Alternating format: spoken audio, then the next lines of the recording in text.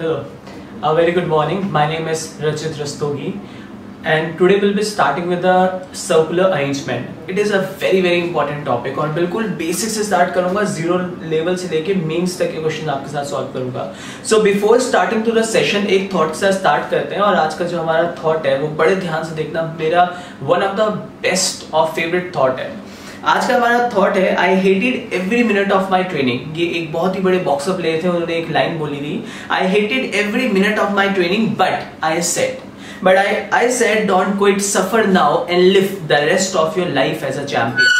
Again इस एक point को फिर से रिपीट कर रहा हूँ। इस थॉट को हमेशा अपनी ज़िंदगी के साथ रखना।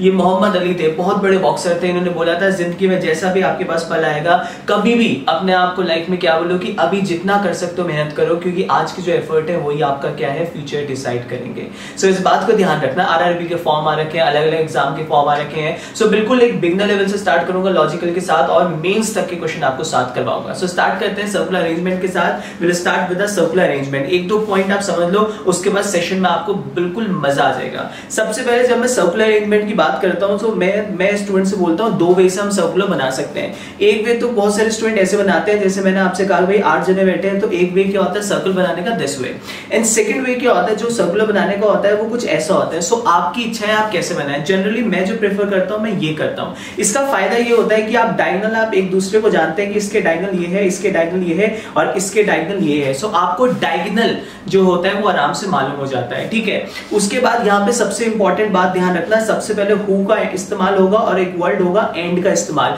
ये बहुत दिक्कत देगा, जो बिगनर लेवल के बच्चे हैं, उनको खासकर ध्यान रखना है। जब भी हु लिखा होगा और एंड लिखा होगा सो ध्यान रखना, जब भी हु लिखा होगा सो सेंटेंस के जो भी कहा लिखा हुआ है, बगल में, उस व्यक्ति की बात हो रही है। और अगर लिखा होगा एंड तो सेंटेंस की जो भी शुरुआत में लिखा हुआ है, उस व्यक्ति की बात हो रही है। हु का मतलब बगल वाला एंड का मतलब स्टार्टिंग वाला। क्वेश्चन में समझाऊँगा, बड़ा स्टार्ट करते हैं, एक बेसिक क्वेश्चन के साथ आपको क्या करना है टाइमर लगाना है और अपना आप स्टार्ट करना सो so, स्टार्ट करते हैं क्वेश्चन वन के साथ। जिन लोगों को आता है वीडियो को पॉज कर अपना आप ट्राई करें और जिनको नहीं आता मेरे साथ करें और इसके लिए अगली बार जो मैं आपको टाइमर दूँगा वो दो मिनट का दूँगा ठीक है? सो स्टार्ट करते हैं। क्वेश्चन में क्या लिखा हुआ बड़े ध्यान से देखेंगे। सबसे पहले लिखा हुआ है स्टडी द फॉलोइंग इंफॉर्मेशन लिखा हुआ है। हमारे पास one two three four five six seven eight so eight people are sitting towards the centre अब बड़े ध्यान से देखना भाई अगर आठ जने सर्कल में बैठे हैं सो एक वे क्या होता है फटाफट एक दो तीन चार पाँच छह सात आठ। एग्ज़ाम देने जाओगे ऐसे बनाओगे फटाफट, ठीक है? उसके बाद दूसरी इंपॉर्टेंट इंफॉर्मेशन आपको ये ध्यान रखनी है, इनका फेस कहाँ पे है? इधर they are facing toward the centre और फेसिंग आउटसाइड क्योंकि इनका फेस कहाँ पे है? टूवर्ड द सेंटर है तो आपको ध्यान रखना है, भाई सेंटर दे आर फेसिंग अब आते हैं एक एक लाइन को हम क्या करेंगे? चीर हरण करेंगे। एक एक लाइन को समझेंगे। ध्यान से मेरे साथ देखना।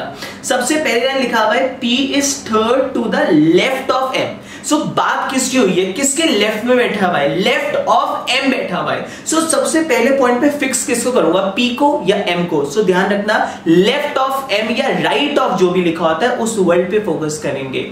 यहाँ पे लिखा हुआ है पी से start to the left of M इसका मतलब पहले पॉइंट पे आप किसको फिक्स करोगे? आप एम को फिक्स करोगे ना कि पी को। ये मैं एक जनरल आपके पास चीज़ें चीज़ें बता रहा हूँ जो स्टूडेंट मिस्टेक करते हैं। दूसरी बात सर्कुलर अरेंजमेंट में कोई दिक्कत नहीं होगी स्टार्टिंग और एंडिंग पॉइंट कहाँ पे होगा? वो लीनियर अरेंजमेंट में दिक्कत होगी बट सर्कल में स्टार्टिंग और एंडिंग पॉइंट नहीं होता सो so उससे आपको कोई दिक्कत नहीं होगी। यहाँ पे लिखा हुआ है P is third to the left of M अब देखिए पी एम का जो फेस है वो टूवर्ड सेंटर है। सो so, अपने हाथ को यूज़ कीजिए। लेफ़्ट कहाँ पे होगा? लेफ़्ट आपका इस वाले हैंड में होगा।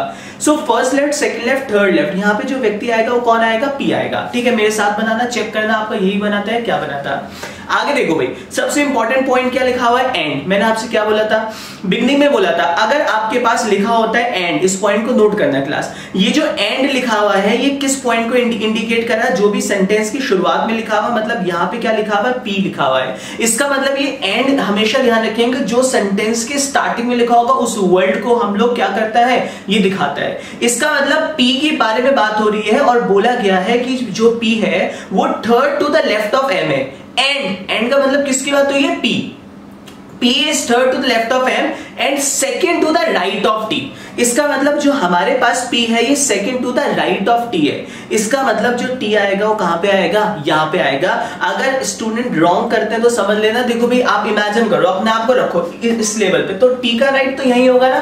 सो so, स्टेटमेंट को ध्यान से समझना है हिम्मत निहारनी ट्राई करना है। जब तक नहीं आएगा तब तक क्या करना है? वीडियो को रिवर्ट करके देखना है। आता जाएगा सो हल्के हल्के लेवल में अपना आप बढ़ाता रहूँगा उसकी टेंशन ना करो। आगे चलते हैं भाई। नेक्स्ट लाइन देखिए क्या लिखा हुआ है? N is second to the right of P अच्छा जी जोड़ लेते हैं N is second to the right of right of मेरा फोकस था राइट ऑफ़ पी पे है। सो so, पी का राइट कहाँ पे पी का फिर सेंटर है। सो so, पहला राइट ये हुआ दूसरा राइट यहाँ पे हुआ और हमसे कौन बोला गया है? एन सो एन यहाँ पे आ गया। ठीक है भाई? आगे चलते हैं। आगे लिखा हुआ है R is second to the right of W अब आपके दिमाग में आएगा सर आर भी नहीं पता डब्ल्यू नहीं पता। So these are the dots which you have to connect Steve Job Steve Job क्या बोलते तो life is all about how you connect the dot in the same way जब भी लॉजिकल की बात करते हैं it's all about how you connect the dot so so, पहले लिख लीजिए. W is second to the right of R is second to the right of W मतलब W जहाँ भी आएगा उसके फ़र्स्ट सेकंड राइट में कौन आएगा? आपके पास R आएगा. डाटा लिख लिया आगे चलो. अब देखो यहाँ पे बड़े ध्यान से देखना जो समझा रहा हूँ. यहाँ पे लिखा हुआ है हु और मैंने क्या बोला था? हु का मतलब क्या होता है? जो भी सेंटेंस के बगल में लिखा होता है मतलब बगल में लिखा हुआ है W. सो so, क्या बोल रहा है sentence W is second to the right of M. W is second to the right of M. इस लाइन को जोड़िए. W is second to the right of M. M मुझे पता है? अब इसके सेकंड राइट पहला राइट दूसरा राइट यहाँ पे कौन आएगा? डब्ल्यू और डब्ल्यू के एक राइट में कौन बैठा हुआ है? एक छोड़ के आर सो यहाँ पे कौन आ गया? आर आ गया। इज़ इट क्लियर सो ये डाटा मैंने यूज़ कर लिया। इस डाटा को यहाँ से हटा सकता हूँ मैं। इस डाटा को मैंने यूज़ कर लिया, हटा देता हूँ। And I think I am done with the pattern जो रिमेनिंग रह गया, वो कहाँ पे आ जाएगा? यहाँ पे आ जाएगा। और लास्ट लाइन देखते हैं, जो हमारे एक रह गई है, वो लिखा हुआ है F is not a immediate neighbour of P इसका मतलब हमारे पास इस पॉइंट पे एफ़ नहीं आ सकता because not a neighbour of P इसका मतलब एफ़ यहाँ पे आएगा and we are done with the pattern so आपको जो इनिशियल पॉइंट पे जो टाइम लगेगा, वो लगेगा. बट आप थोड़ी बहुत अगर मेहनत कर रहे हैं और आपने आरएलबी का नोटिफिकेशन आ गया है आईबीपीएस का नोटिफिकेशन आने वाला है, और आप ट्राई कर रहे हैं तो मेरे हिसाब से दो मिनट के अंदर आपको करना ही है किसी भी हालत में, और आपको मैक्सिमम ट्राई ये करना है कि दो मिनट से भी कम टाइम आपको लगे इस क्वेश्चन में बिगनर लेवल पे. ठीक है? और स्पीड जब हो जाएगी तो तो एक से डेढ़ मिनट के अंदर हम लोग कर पाएँगे. अच्छा इस पे बेस्ड क्वेश्चन भी देख लेते हैं भाई हाँ. पहला क्वेश्चन देखिए क्या लिखा हुआ है. फ़र्स्ट क्वेश्चन अगर आप देखेंगे देखिए क्या लिखा हुआ है? लिखा हुआ है who is on the immediate immediate मतलब ध्यान रखिएगा बगल में। Who is on the immediate right of P right of P so देखिए P कहाँ पे है? यहाँ पे है। और P का इमीडिएट राइट कौन होगा? इस वाले व्यक्ति की बात होगी। अब देखिए क्या आएगा यहाँ पे? M हो चुका है N हमारे पास हो चुका है P हो चुका है T हो चुका है R हो चुका है W हो चुका है F क्या बचा? H तो यहाँ पे आंसर क्या होगा? H आएगा। सो so, इसका फ़र्स्ट का जो आंसर आएगा वो क्या आ जाएगा? H आ जाएगा। ठीक है अगले क्वेश्चन में चलते हैं। Second question who is on the immediate right of H immediate right of H जरा बड़े ध्यान से देखिएगा। एच यहाँ पे है सो so, H का immediate right N so answer क्या होगा भाई? एन होगा। एन ऑप्शन में है नहीं ऑप्शन में है सो so आप बात करेंगे नन ऑफ़ दिस ठीक है नेक्स्ट क्वेश्चन में चलते हैं। फिर लिखा हुआ है is on the immediate left of R R का लेफ़्ट देखिए। अब देखिए आर यहाँ पे है। अब आर का लेफ़्ट का है? भाई तुम्हारा फेस ऐसे है। सो लेफ़्ट कहाँ पे? इधर है। सो so, आर का लेफ़्ट कहाँ पे है? यहाँ पे। मतलब टी होगा आंसर टी ऑप्शन में ये है इसका मतलब फोर्थ आंसर हो गया। In the same way fourth question who is third to the right of H इसके राइट right देखो थर्ड सो so, पहला राइट right, दूसरा राइट थर्ड राइट मतलब आंसर क्या होगा? एफ़ होगा और एफ़ का मतलब ऑप्शन नंबर कौन सा हो गया? फोर्थ हो गया. अगला क्वेश्चन देखते हैं who is second to the right of F second to the right of F तो पहला राइट दूसरा राइट मतलब होगा टी टी का मार्क करेंगे आगे बढ़ जाएँगे सो आप we are done with the part number one भाई समझ आया नहीं आया? सो so, ऐसे ऐसे क्वेश्चन का हमें टारगेट क्या लेना है कि कम से कम एक से दो मिनट के अंदर हमें सॉल्व करना है चाहे कुछ भी हो जाए। करने ही है। There is no other option आप बोलोगे सर ऐसा कैसे होगा? दो मिनट के अंदर एक मिनट के अंदर होगा। अभी ये वेरिएबल नंबर वन है फिर वेरिएबल टू दिखाऊँगा फिर वेरिएबल थ्री फिर मेन्स क्वेश्चन ठीक है ट्रस्ट में बिल्कुल एक बिगनर लेवल के साथ स्टार्ट करूँगा हल्के चल के आगे चलेंगे बट आज का थॉट ज़रूर ध्यान रखना। क्या बोला था आज का थॉट वो बोला था किसने बोला था? एक बॉक्सर थे मोहम्मद अली। उन्होंने क्या बोला था? रिपीट करें अपने मन में जहाँ भी वीडियो को देख रहे हैं। I hated every minute of my training but I self I said do not quit ठीक है suffer now and live the rest of your life as a champion आज की मेहनत है जो ज़िंदगी में आपको देगी। कुछ भी आप जिस पॉइंट पे भी जाओगे वो आज की मेहनत है। सो so, अगर आज आप हिम्मत हार के चले गए सो so कोई ज़िंदगी में आपका साथ नहीं देगा एक्सेप्ट yourself. So, आपको अपने लिए करना है, इस बात को आपको ध्यान रखना है। ठीक है? So will move to the next set now again one two two minute का हम टाइमर सेट करते हैं। फटाफट स्टार्ट करें, देखते हैं आपने सबसे पहला आंसर कौन देगा। सो देखते हैं। फटाफट वीडियो को पॉज करना ट्राई करना। हुआ तो अच्छी बात है, नहीं हुआ तो मैं आपके साथ इस सेट को करूँगा। ठीक है? देखिए क्या लिखा हुआ है इस सेट में यहाँ पे। फटाफट देखेंगे क्लास आप भाई, लिखा हुआ है, अश्वनी प्रिया, सुधा, रानी, मीता, गीता, मुक्ता। देखो, नाम अलग अलग है, मुझे फ़र्क नहीं पड़ेगा। बस यहाँ ध्यान रखना है एम से दो नाम है, मुक्ता, मीता, जिसमें बच्चे कंफ्यूज करेंगे। दूसरी बात, कितने जने बैठे हैं? आठ या सात? यहाँ सात है। देखो, एक, दो, तीन, चार, पाँच, छह, सात। ठीक है भाई? अच्छा सात जने बैठे हैं तो कुछ ऐसा बनेगा। One two three four five six और यहाँ पे बनेगा सात। ठीक है भाई? आठवें में से एक डंडा कहीं से भी हटा दो, फ़र्क नहीं पड़ेगा। ठीक है? अब चलो देखते हैं क्या लिखा हुआ है। They are facing toward the centre out side they are facing toward the centre यहाँ तक बात क्लियर है सबको? मतलब इन सबका फेस सेंटर की तरफ़ है भाई। ठीक है? अब पहली लाइन लिखा हुआ है Ashwani is third to the left of Mukta. किसके लेफ़्ट में? है मुक्ता के लेफ़्ट में है। तो किसको फिक्स करूँगा? मुक्ता। भाई देखो मुक्ता को फिक्स कर लो। अब मुक्ता में एम यू लिखना खाली। ऐसा नहीं कि पूरा मुक्ता लिख लो तो मुक्ता जी लिख लो है ना? सो so, चीज़ों को समझना। अगर अल्फ़ाबेट स्टार्टिंग में डिफरेंट है मैंने एम यू बी क्यों लिखा? बिकॉज़ दो नाम है। एक मुक्ता एक मीता। बाकी तो सब सिंगल सिंगल अल्फ़ाबेट से स्टार्ट हो रहे हैं अच्छा भाई चलो। यहाँ पे लिखा हुआ है Ashwani is third to the left of Mukta. अब भाई मुक्ता का लेफ़्ट देखोगे पहला दूसरा, तीसरा। तो यहाँ पे कौन लिखा हुआ है? अश्वनी। तो यहाँ पे कौन आ गया? अश्वनी ए से दिखाया। आगे चलो भाई। अच्छा फिर लिखा हुआ है, देखो, तुम्हें हज़ार बार बता चुका हूँ, यहाँ लिखा हुआ है एंड एंड का मतलब सेंटेंस की शुरुआत में। सेंटेंस की शुरुआत में कौन लिखा हुआ है? अश्वनी की बात हो रही है। मतलब पूरे सेंटेंस में बात हो रही है अश्वनी की। So Ashwani is third to the left of Mukta and and मतलब बात किसकी हुई है? Ashwani. And Ashwani is to the immediate right of Rani अच्छा भाई, Ashwani is to the immediate right of Rani तो रानी कहाँ पे होगी? यहाँ पे होगी हमारी रानी ठीक है भाई, आगे चलते हैं। आगे लिखा हुआ है, Priya is second to the left of Geeta अब आप बोलोगे, सर, ना तो प्रिया पता है, ना गीता पता है? मैंने क्या बोला था कि जब डाटा नहीं पता होता, लिख लो। ठीक है? तो Priya is second to the left of Geeta मतलब जहाँ भी गीता आएगी, पहला लेफ़्ट दूसरे लेफ़्ट में आप देखोगे कौन आएगी? आपकी प्रिया आएगी। आगे देखते हैं क्या लिखा हुआ? हु। हु का मतलब क्या बोला? जो भी सेंटेंस के बगल में लिखा होता मतलब गीता की बात हुई है। Geeta is not not I again repeat Geeta is not immediate neighbour of Meeta ठीक है भैया? ठीक है मीता का जो आपके पास है गीता जो है वो मीता की नेबर नहीं है। हम पे मुक्ता पता है। सो so, हमारे पास लिखा हुआ है आपके पास यहाँ पे बड़े ध्यान से देखना जहाँ पे आपके पास मीता है। ठीक है मीता है। Meeta is not immediate neighbour of Geeta मतलब गीता और मीता एक साथ नहीं आएँगी तो इस पॉइंट को यहाँ पे लिख लीजिए। अब क्या बोला था? It's all about how you connect the dot चलो भाई अब इस पॉइंट को जोड़ सकते हैं। जहाँ पे प्रिया है उसके एक राइट छोड़ के जी आएगा। देखो भाई कहाँ रख सकता हूँ। देखो, अगर यहाँ, मैं दूसरा मार्कर यूज़ कर रहा हूँ जिससे आपको थोड़ा पता लग जाए। देखो भाई प्रिया को अगर यहाँ रखता ये इमेजिनेशन में चलेगा। प्रिया के लेफ़्ट में एक छोड़ के जी आना चाहिए था बट ऑलरेडी मुक्त है। हो नहीं सकती प्रिया यहाँ पे सो प्रिया को हटा देता हूँ यहाँ पे। अच्छा भाई, प्रिया को यहाँ रखता तो क्या होती? प्रिया के एक राइट जी यहाँ आ सकता था? नहीं आ सकता था। इसका मतलब आपको एक बात समझ आ गई कि प्रिया तो केवल यहीं आ सकती है, और जी हमारा केवल कहा सकता है? इस पॉइंट पे आ सकता है। इसके अलावा there is no other option क्या ये बात समझ आई नहीं है? आई या नहीं आई? आप मुझे बताओ। आई होगी। हंड्रेड परसेंट डाटा यूज़ कर लिया टिक लगा लो। अच्छा एक लाइन और बची थी। मीता, गीता का नेबर नहीं है। मतलब मीता इस पॉइंट पे नहीं आ सकती। ध्यान रखना, मीता मुक्ता दो थी। मीता यहाँ नहीं आ सकती। इसका मतलब मीता कहाँ पे आ जाएगी? यहाँ पे आ जाएगी। और जो हमारा एक व्यक्ति रह गई, कौन रह गई? देखो, अश्वनी हो गई, हमारे पास प्रिया हो गई, सुधा जी रह गई हमारे पास। जो सुधा जी आ जाएँगी, वो कहाँ पे आ जाएँगी? यहाँ पे आ जाएँगी। और हमारा क्वेश्चन यहाँ पे बन जाएगा।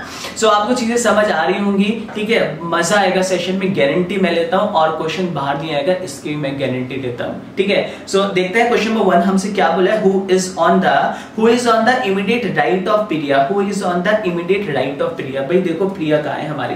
प्रिया कहाँ है? प्रिया यहाँ पे है। प्रिया का इमीडिएट राइट कौन दिख रहा है? मुक्ता। सो आंसर यहाँ होगा मुक्ता। मुक्ता मीता दो थी ध्यान रखना। तो आंसर हो गया मुक्ता। अगले क्वेश्चन चलता है भाई। Who is second to the left of Rani second to the left of Rani भाई देखो रानी कहाँ है हमारी? रानी यहाँ पे है। लेफ़्ट कहाँ पे है? ऐसे देख लो ना सो राइट यहाँ लेफ़्ट यहाँ इमेजिन करना अपने हाथों के डायरेक्शन से। सेकंड टू द लेफ़्ट तो पहला लेफ़्ट दूसरा लेफ़्ट मतलब गीता आंसर होगा। गीता मतलब आंसर है क्या? नहीं है। सो आंसर मार्क करोगे नन ऑफ़ दीज ये मत सुनना। सर आंसर नहीं है तो नन ऑफ़ दीज नहीं आएगा। आएगा भाई, पक्का आएगा। Which are the following pairs अब इस क्वेश्चन को समझ लो। पहली बात तो दिक्कत ये आती है, बच्चे इस क्वेश्चन को ही नहीं समझ पाते। ठीक है? क्या बोला है? क्वेश्चन देखो जरा बड़े ध्यान से समझना बोल रखा है कि which of the following pairs of the person has the first person अब आप बोलोगे सर फ़र्स्ट पर्सन मतलब क्या है? भाई जैसे हमारे पास ऑप्शन दे रखा है रानी और मीता। सो so, पहला पर्सन कौन है यहाँ? रानी पहली पर्सन हो गई और मीता सेकंड पर्सन हो गई। सो so, बोल रखा है which of the following which of the following pairs of person has the first person sitting on the immediate left of the second immediate left of the second मतलब ये बोल रहा है क्या मीता के इमीडिएट लेफ़्ट मीता का है हमारी? मीता ये है। मीता की इमीडिएट लेफ़्ट कौन है? अश्वनी। बट यहाँ पे लिखा हुआ है मीता इमीडिएट लेफ़्ट रानी सो ये गलत हो गया। ठीक है वीडियो को रिपीट कर लेना, कहीं डाउट होगा। दूसरा देखो, भाई, गीता के लेफ़्ट क्या अश्वनी है। गीता के लेफ़्ट क्या अश्वनी है? नहीं, यहाँ तो मुक्ता है, ये भी ऑप्शन नहीं होगा। क्या प्रिया के लेफ़्ट में सुधा है? सो प्रिया के लेफ़्ट में सुधा है? नहीं, ये भी ऑप्शन नहीं होगा। क्या सुधा के लेफ़्ट में गीता है? सुधा के लेफ़्ट में गीता है नहीं है? है, बिल्कुल है। इसका मतलब ऑप्शन होगा फोर्थ वाला। मार्क कर लेना इंपॉर्टेंट क्वेश्चन एग्ज़ाम में आता है और बहुत बच्चे इस डायग्राम को बना लेते हैं बट क्वेश्चन का आंसर नहीं नहीं दे पाते। सो इस पॉइंट को भी आपको सिखा रहा हूँ, बिल्कुल बिगनर लेवल से रिपीट करते रहना मेरे साथ। हु का मतलब वो होता है जो सेंटेंस के बगल में लिखा होता है एंड का मतलब वो होता है जो सेंटेंस के शुरुआत में लिखा होता है। ठीक है? ये दोनों पॉइंट को आप करना और थोड़ा फटाफट हम इस वजह से कर रहे हैं बिकॉज़ आई वॉन्ट की थोड़ा सा यार आप में जान होनी चाहिए, ताकत होनी चाहिए। ठीक है? तभी तो हम आगे भी बढ़ पाएँगे और फटाफट बैंकिंग का मतलब ये है कि फटाफट फटाफट लगे रहो लगे रहो स्पीड बनानी बहुत इंपॉर्टेंट है। ठीक है? चलिए, फिर आगे चलते हैं नेक्स्ट सेट की तरफ़ चलते हैं, और आज का हम देखते हैं बिगनर लेवल का सेट नंबर थर्ड चलिए। सो यहाँ पे देखते हैं फटाफट टाइमर लगाना है आप लोग सॉल्व करना है होपफुली इस बार आप मज़े से मुझे आंसर दो और फटाफट बोलो सर आंसर इसका तो एक डेढ़ मिनट के अंदर ही आ गया था। सो फटाफट देखते हैं क्लास सेट में क्या लिखा हुआ है, फटाफट आप लोग स्टार्ट करो वीडियो को पॉज करो और मैं आपके साथ यहाँ पे करूँगा। चलिए। सो यहाँ पे लिखा हुआ है how many people are there eight eight people है. सो कैसे बनाएँगे? One two three four five six seven eight दो डायग्राम नहीं बनाएँगे. अभी दो डायग्राम भी बनाते हैं बट जहाँ डबल वेरिएबल होगा सिंगल में क्यों अपना टाइम वेस्ट करना? So eight people are sitting towards the centre they are facing towards the centre first line देखो भाई क्या लिखा हुआ है. फ़र्स्ट लाइन लिखा हुआ है H is fourth to the left of B H is fourth to the left of B तो किसको फिक्स करोगे? क्या बोला था? जहाँ भी वर्ड मिलेगा लेफ़्ट ऑफ़ समथिंग या राइट ऑफ़ समथिंग सो यहाँ पे लिखा हुआ है लेफ़्ट ऑफ़ बी इसका मतलब किसको फिक्स आप जो फिक्स करोगे, किसको करोगे, आप लोग फिक्स करोगे बी को। ठीक है, मैं पर्पल कर रहा हूँ। Purple is my favourite so मैं पर्पल मार्कर का यूज़ कर रहा हूँ। सो यहाँ पे लिखा हुआ है H is fourth to the left of B so first second third fourth इसका मतलब यहाँ पे जो आ जाएगा क्या आ जाएगा? एच आ जाएगा। आगे लिखा हुआ है एंड अब ये एंड का मतलब क्या होता है? एंड का मतलब होता है जो सेंटेंस के शुरुआत में लिखा हुआ मतलब एच की बात हुई है। H is second to the right of H H जो हमारे पास है second to the right of F है। सो एफ़ कहाँ पे आएगा भाई? यहाँ पे आएगा। बहुत सारे बच्चे एफ़ को मुझे पता है, उल्टी जगह लिखेंगे। तभी तो हम सीख रहे हैं ना। ठीक है तो कोई दिक्कत नहीं है, ठीक है? अबे, हमें बस मेहनत करनी है क्लास आगे चलो।